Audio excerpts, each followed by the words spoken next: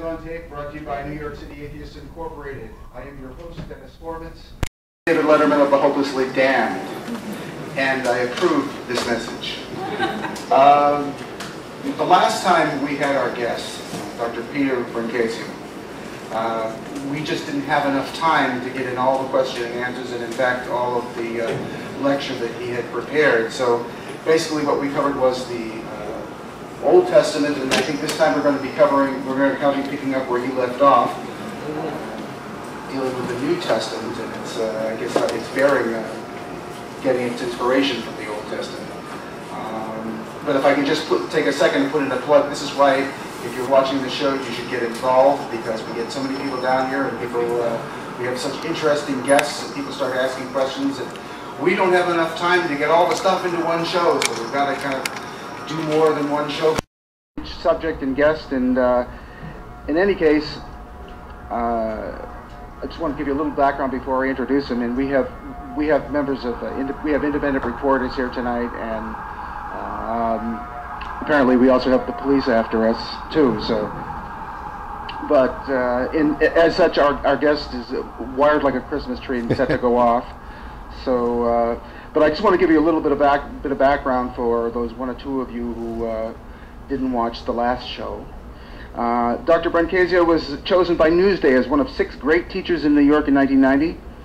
He taught for 35 years in the physics department, Brooklyn College. He created and taught for seven years uh, a now famous course called Science and Religion, uh, inspired by a grant from the famous Templeton Foundation. He is the author of the book, The Bible from Cover to Cover, which I am now about halfway through and totally recommend. I, I don't know if we can get a close-up, uh, Joe. We'll try to get a, a, swoop. Sorry if we're making you dizzy out there in television land. Um, I'm about halfway through this. It's a great book. I recommend it. And as I said to him before the show, I pay him the highest compliment I can pay any author. It is now splattered with steak sauce. So, uh, without any further ado, I think we should just uh, Peter come out. Okay. Why is monotheism better than polytheism? Doesn't it make more sense that there would be a race of gods rather than just one?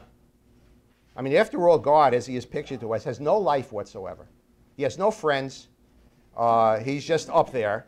Uh, he's got no history. Whereas the gods of the Romans, the gods of the Greeks, they had a whole society up there.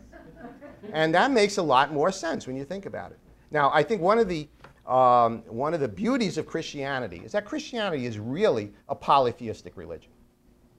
Right? Judaism gives you this one, not very friendly God who is sort of, when you picture the Jewish God, he's kind of scowling all the time, you know? Um, whereas um, uh, Christianity has God the Father, who is very kind, um, and he's sort of very separate. And then they have Jesus, and then they have, of course, the Virgin Mary, uh, who is a uh, important figure for, for Christian women um, and was a very clever replacement for the uh, fertility goddesses that everybody worshiped. So we do away with fertility worship. We don't worship fertility, we worship Mary instead. And people take this very, very seriously. I read once an article about this group of women who worship the Virgin Mary, and they say, We always wear blue because that was the Virgin's favorite color. Now, how they know that? Well, just go into any church and she's always wearing blue. so, uh, but it's the advantage of having all of these different deities and saints that you can pray to um, for special causes. You know, I was, we were in, I have to tell you that uh, one of the things I'm going to say is you don't have a, a, festival of San Gennaro if you don't have a San Gennaro. In other words, you need a saint. And, and one, of the, one of the beauties of Christianity is it has all these saints, and you have all these celebrations. So uh, last week we went in, we were in Glen Cove. We went to the Festival of San Rocco.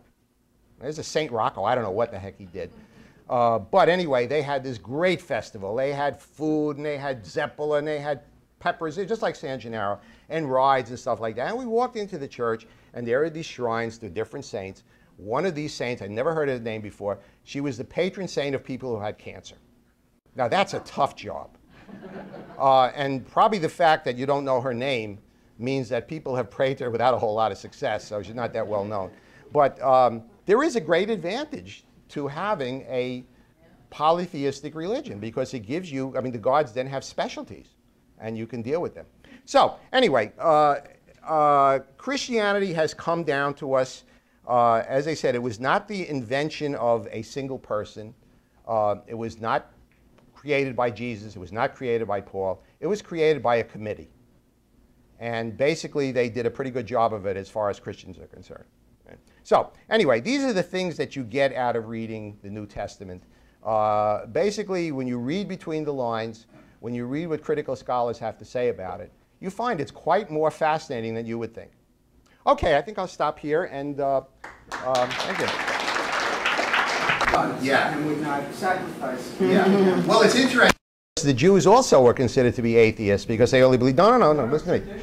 Oh, tradition, yeah, but see, but they were an old religion. Right. Uh, so the Romans looked at them and says, well, they only believe in one God, which is really strange, but they're a very, very old religion, and so we will. They don't have to. Um, they don't have to worship our. They don't have to make uh, offerings to our gods, and they can don't want to work on Saturdays. They don't have to work on Saturdays. It's a very old religion. We'll leave them alone. But when the Christians came along, they said this is a new religion.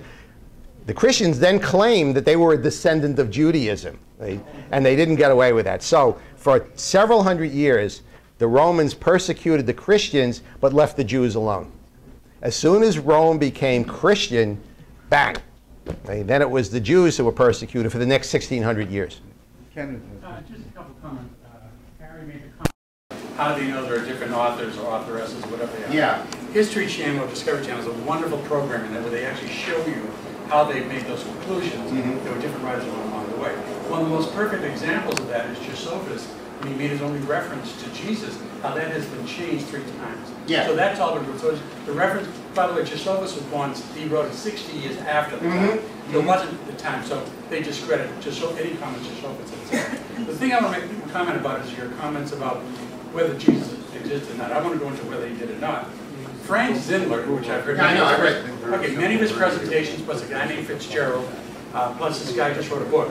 Much of their foundation of why they claim he didn't exist is based upon topography. It's based upon location of location, did that exist or not? And what's been happening is the Christian groups have spent millions of dollars trying to prove that, say, Nazareth existed. Oh, yeah, yeah. Nazareth didn't exist No, any no, no, place. no, no, no, until that's not 40 true. Wait, wait, okay, that's what he claims. That's what he claims. Yeah. He did- He claims even Bethlehem may not be the Bethlehem we're talking about, it was the Bethlehem of the Nazareth, etc. Yeah. Okay. Bottom line is, I will try to bring in either Zindler or Fitzgerald or the other guy, so you can hear their story, but they have a pretty convincing story. Well, that might- convincing to you. Okay. I see it. No, I see it as a But I very think it might shoddy be interesting. Scholar. Yeah, anyway. we have one more question. You had a question before, do you still have? Sure. Is Yeah. there any consensus among Bible scholars on why uh, Matthew Mark were the gospel? No. Matthew was the most popular of the Gospels at the time.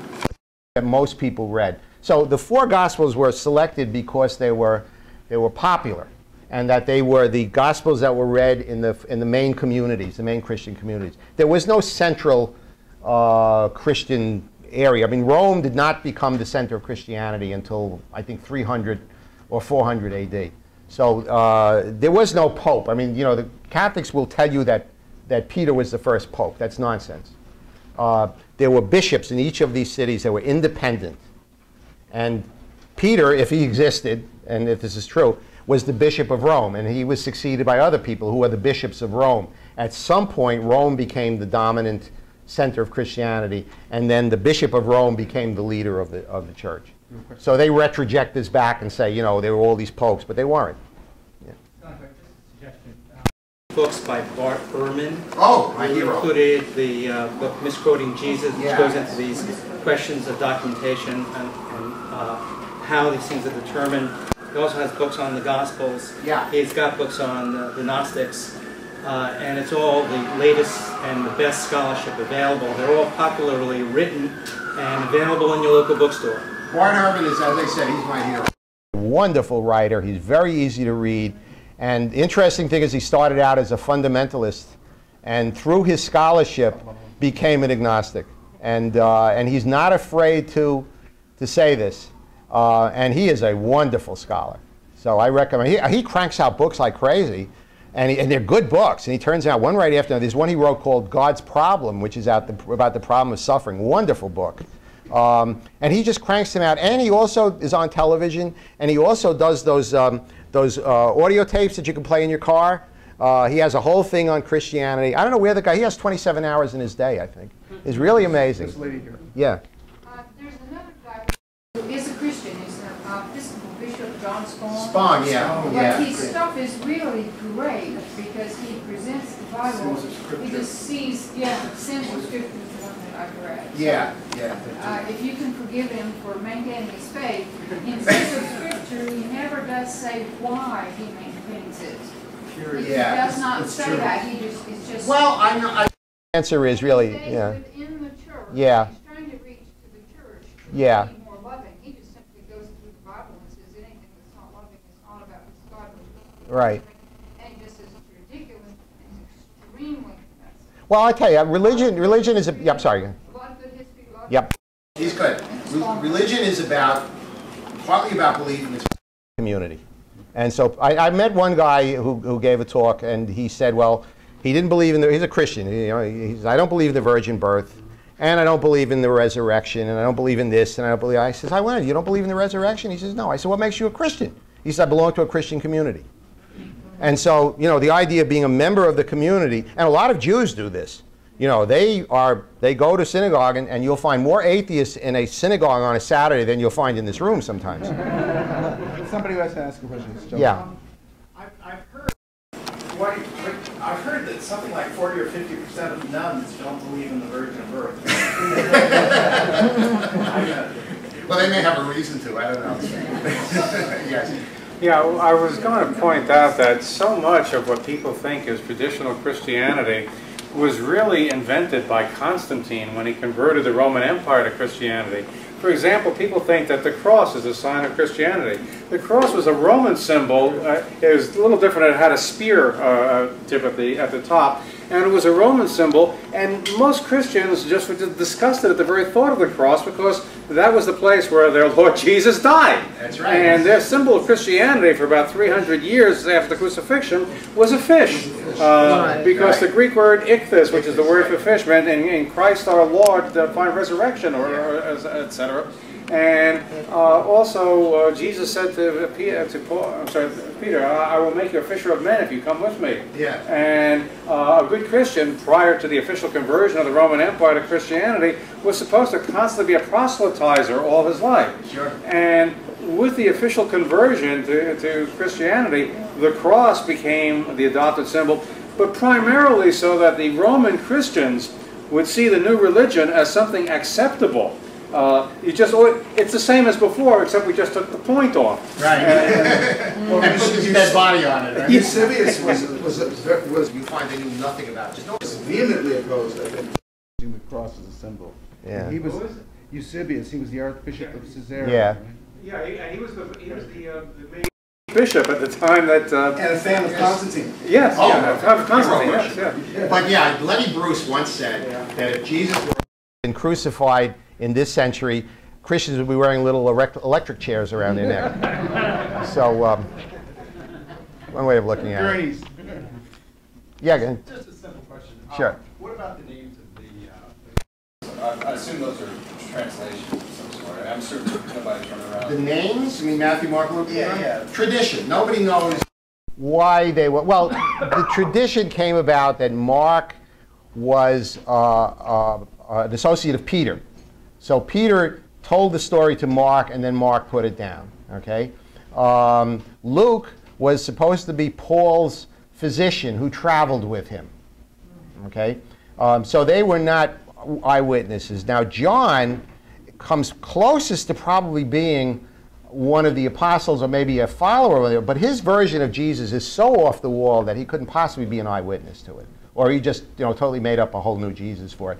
And Matthew, it's just a name that was given to it. You know, they, um, this was in the middle of the second century, before we have any record of these books having names.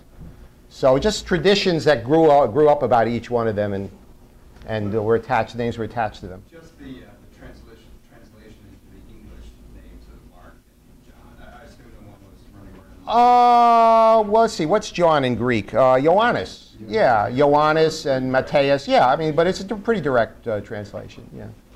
So um, yeah. Said religion was about community. Yes. something else. Yeah, Partly about belief and partly about community. The fact that it's, it's government. It's, Of the difference between stars and planets, right? They just didn't look up or something, I don't know, maybe it was cloudy all the time. Uh, But they were not, so they did not, they were not, uh, they were not astrologers. Jews did not accept astrology. It did have a lunar calendar. Oh, yeah, sure. Yeah, I mean, that had a calendar, it was a lunar calendar, but that's just based on, on simple observation. I mean, a lunar calendar is much simpler to, to deduce than an annual calendar.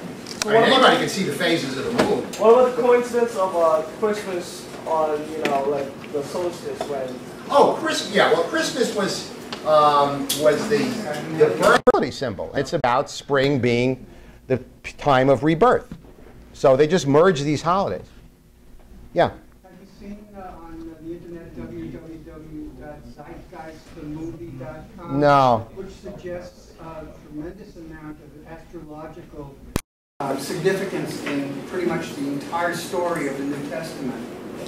And It's quite, quite profound, uh, connecting it with Mentor and, uh, and Zoroaster and many other of the time that have to do with the placement of stars and the, and the, uh, There's no, there's nothing in the, in the New Testament, other than the star of Bethlehem, which is a complete myth. Even the, the virgin, virgin is part of the, uh. Virgin is uh, barely mentioned in the New Of Testament. astrology.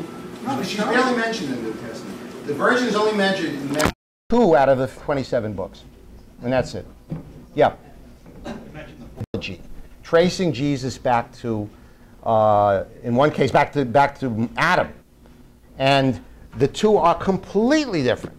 You know, one goes through um, one goes through uh, David, Solomon, and then on and on and on. Another one goes through David, Solomon, Nathan, who is the son of David, rather than Solomon, and goes. They just go completely different, and one is 15 generations longer than the other. Nevertheless, they have figured out a way of explaining how these two are not in conflict. Okay? One is a legal list, the other is, uh, I don't know, they have some weird way. I mean, it's amazing how they can do that. I was fooling around once with a Jehovah's Witness online, and uh, I was pretending, you know, I got onto their website and I started saying, well, you know, I'm really puzzled. Why don't these two things agree with one another? And so she gave me some explanation, but that doesn't work either. She says, look, you have to have faith. Someday we'll figure it out. Yeah. Most of them aren't that honest, though. Huh? Most, most. Yeah, that's true. most That's true. They're not that honest. Yeah, but I mean, it's, it's so it's so blatant, but nevertheless, there is an explanation for it. Yeah. 12, then he disappears till he's 30. In the book. Yeah. Like that's 18 years. Like Nixon left out 18 minutes. Well, Well- everything- yeah, I mean, the, the, the Gospels really start with uh, his baptism on the Baptist. Anything that comes before that is is even more made up than what comes afterwards. You know. Was he supposed to have killed the kid or something? Yeah, there was a gospel. There's a gospel of, um, I think it's the Philip or James. It's a agnostic gospel which talks about the childhood of Jesus, where he would make clay birds and fling them up in the air and they would fly away and stuff like that. was he a carpenter, a fisherman, or a rabbi? Or all three? I don't know if he was a rabbi. He wasn't a fisherman. He, he collected fishermen. Yeah, they call him rabbi, the teacher. Um, but he didn't have a synagogue. I mean, you know, he didn't have to deal with that um, or a congregation. I mean, but um, was he a carpenter? Well, he's referred. The Greek word is the Greek word is tekton, which means a worker. So he could have been a, um, a m- well, I don't know, he's a mason or a, whatever, a computer programmer or something like that. Yeah. Where did the idea of celibacy come from? Who invented I mean, where is it say? There were, there were various sects of Christianity that were uh, that were so ascetic that they preached celibacy, but that's not something that. But how did it come past, how did it pass down to Christianity so the priests can't get married? Yeah, that's what I understand. It was economics, you know, so that they would they wouldn't. Um, uh, that their children, that their children, if they had children, their children would get the church property. Paul says, Yeah. I wish you would all be like I am, celibate. Yeah. But you don't have to be. And what, and what it became, Paul, Paul says marriage is those of you. oh, it's better Yeah. than burn. No, no, burned with passion. Right. Burned with passion. So Yeah. Paul was, Paul was not married, it said, personally, it would be, you know, I, I think it's better because you're not satisfied with your wife. and But he says marriage is for those of you who can't control yourself. That's right. That's right. But you got to remember, let you got to remember that Paul believed that the world was going to end in his lifetime, so there's no point in getting married and there was no point in having children. But what was Paul's thorn in the flesh, if not lust? Yeah, probably. He Yeah. did not want to be promiscuous, he was traveling, but he had this thorn Yeah. always talked about. Well, he was 50 years old. He was schlepping around from place to place. He was really tired at the end of the day. I don't see He didn't know. Absolutely. Spong say, suggest that he might have been gay, that Paul may have been gay? Yes, Spong did, but I didn't buy it, I bought it. The celibacy as a concept itself is part of many different religions. Oh, sure. Oh, sure. You might just have no way, like, you know, some old men having no sex drive. Yeah, Probably, yeah. If I can't have fun, neither can you. you know, basically. Yes? What are some of the uh, oldest existing versions of uh, the New Testament? Either Oh. As a collection or? or The oldest, the oldest complete book, you know, the 1 Corinthians, the oldest uh, goes back to 200 AD. Okay, so that's 150 years after it was written. During 150 years, it was copied and copied and recopied and recopied, and every time somebody copied it, uh, they would often make an error. Now, I mean, you, you know, a scribe is sitting there with a manuscript here, a manuscript here, and a candle over there, and he's copying like this, you know, and they would miss letters, they would miss lines, um, and so th- Punctuation? they would miss. There was no punctuation in the text. Uh, the oldest complete New Testament is um, uh, goes back to about 400 A.D. What's the oldest that's available? uh, The oldest what? The oldest available? the oldest- That's a yeah. It's the Codex Codex Sinaiticus, I think. Yeah, which is uh, is it in the British Museum or huh? It's about 950 No, no, no, no. That's Writing Great Codex. no. There is a there is a New Testament that goes back to 400. It's the Codex Vaticanus, I think, that goes back to 400 A.D. And there was one that was found in Mount Sinai. That's right, the uh, Codex Sinai- Sinaiticus, whatever the heck it is. But it was found in a monastery on and at Mount Sinai. So that goes back to 400. Absolutely not. Absolutely. The ones at 45? Absolutely not. No. Nope. Thomas? I mean, that The Gospel of Thomas, nobody knows how to date that. They don't know how to date them? They don't know how to date that. It's a. It's obviously a. Gos- it's obviously a, a Gnostic text. It's Jesus speaking as a Gnostic. Uh, does it go back to 50 or 70 or 150? Nobody really knows. That's just saying. Those just sayings. That's right. Can we have one Yeah. more question? I'm sorry. You can come up and you can come up and ask me questions afterwards if you like. Sure. Go ahead. Well, I think most, most people aren't aware. The Bible as we know it, uh, the, the official um, Latin Bible of the Catholic Church, was prepared by Saint Jerome Yeah, uh, around the 400. AD. And, and he himself wrote about his difficulties in putting the Bible together. He wrote separate documents talking about how he went crazy. just trying to find the right documents to put in it because he would look at the official versions of any of these uh, Gospels and any of the other documents in the New Testament or Old Testament and he would uh, say they all differed from each other to such an extent he only he, he could only choose one with the greatest uh, difficulty. Yeah. Well, one of the early scholars, I forget was Origen or, or I guess it was Origen, who put together six side by side versions of the Greek text and compared them. So at that time, this is 300 AD. There were already six different versions, and he and he tried to you know come up with a with the best version of the six. So yeah, there was no. Whatever we have is pot luck. Absolutely, absolutely. King James, was the accepted version of that, was a combination or a confluence of all the No, there was a translation that was uh, put together uh, by a committee. You know, they, they wanted to come up with a new translation of it, but actually, um, um, yeah, I mean, it, it was not it was not a new. I think they went back to the original. They put together committees.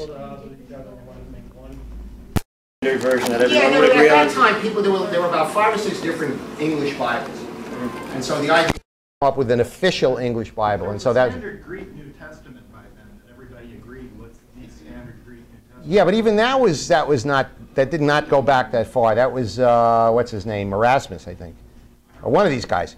Um, yeah, but anyway, that's what they did. It was the idea. It was, there were several different translations.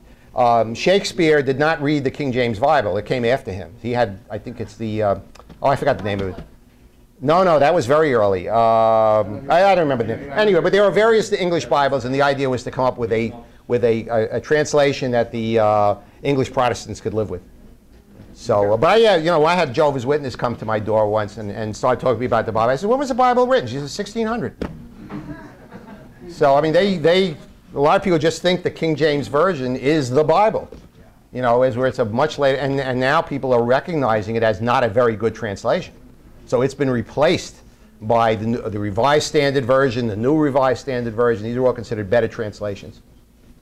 Yeah. But I think in the modern translations, the, the level of biblical scholarship is more advanced and people know about the inconsistencies. Yeah. The translators are all believers, so they tend to, tend to want to gloss over the inconsistencies. Well, yes, the New Revised Standard is good because it's got footnotes on it. And if you read these little fo- footnotes, it'll say, well, this word, we have no idea what it means. It might mean this, it might mean that. Gloss over Yeah, absolutely. I know if he glosses right over them. I, I, I'm going to have to call, uh, kind of Officially, uh, officially end the formal